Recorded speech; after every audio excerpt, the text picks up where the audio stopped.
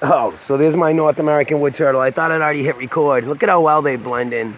All these years in this river, 30 something years in this river, and I'd never seen one. Nothing. They're really rare, and in some places they're like uh, endangered. But he's been working on squeezing between these rocks now for like 10 minutes, but the, he'll get up close and the current will push him back again. But he just goes for it again. But yeah, their camouflage is like perfect. You can't even see him right now. But if I grab him, you can see him.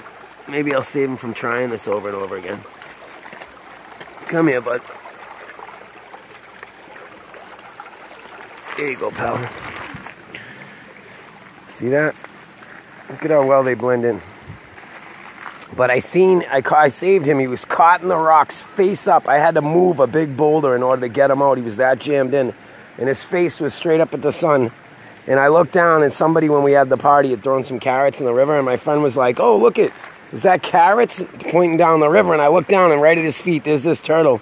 And look at how orange they get. So he was face up like that. And I'm like, Is that a carrot? And I'm like, Holy shit, it's a turtle. And he was jammed in the rocks. He was all dried out. And, uh, Probably been there a couple days since the last time the river was high, but yep. There's my North, North American wood turtle. And then last night I petted a bear, a wild black bear right on my road. I'll try to upload that video. All right, later.